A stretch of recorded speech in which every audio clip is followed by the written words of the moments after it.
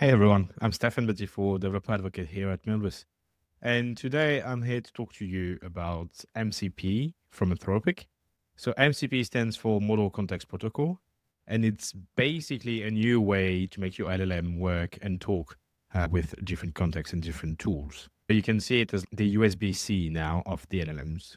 Because the problem is LLMs are very good at talking about things, but they're in their own world. Like they can talk to you about the weather and say that the weather is good, but natively they cannot check it actually. So what you do is that you introduce function calling and the idea behind MCP. And if we have a look here at the documentation, so it's model context protocol.io, then you know we can see why do we need MCP and why is it useful. It really helps you, as they write here, it really helps you build agents and complex workflows on top of LM so that you can have talk with different data and different tools. And the general architecture, which is why is it so nice, is that you have an MCP client. So think of like Claude Desktop or Cursor or different tools. And then you're going to use the MCP protocol to then talk to the different server. So in our case, we're going to have Claude Desktop talk directly with Milvus.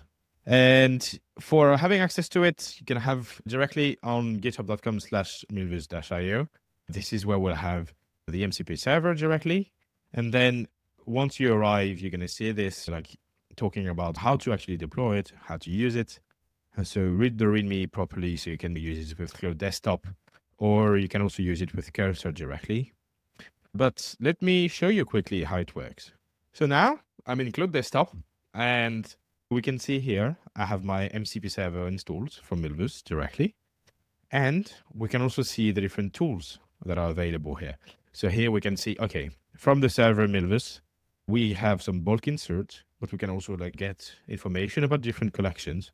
We can do like a lot of different things. And I'm just going to show you some demos, run some queries, and then you can have a better idea. So for example, I'm like, what are the collections in my Milvus DB? And now Claude should know, oh, I have to call the MCP protocol. So that's why now it's asking me to allow the tools. It's going to do that for a lot of different tools. I'm just going to allow it. But you can see it's running a specific function for the Milvus database that was running locally. And now it found that I have eight different collections. Okay, cool. Maybe I'm like, I don't know.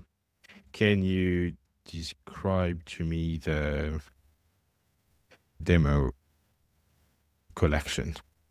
And now it should actually be able to describe it so we're going to allow it. Okay. And now, you know, now it's actually telling you, oh, okay, this is general information. So auto ID is enabled. There's one shard, one partition. Here are the fields. Here are the functions that are defined as well on it. And this makes it very useful for you to actually being able to understand your Milvus collection and Milvus database. But you can also actually ask queries about it directly. So for example, Milvus 2.5 released full text search, meaning that we like handle everything for you to run a query directly. So in my demo collection, what I have is that I actually, as we've seen here, I have BM25 as a function, which allows me to input text directly. So in the demo collection, I've inserted things about information retrieval. So what we're going to do now is actually run the query. We're running full text search directly, and then it will give us like some results and then we can get those results back and then show them directly to the user. So that can be extremely useful. And yeah, now we can see, okay, we searched directly in the demo collection. Here is what it found out about.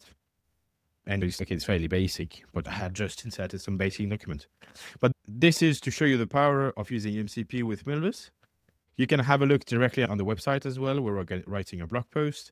So milvus.io or zilliz.com. And then the code is also available directly. So yeah. Thank you. That was Stefan.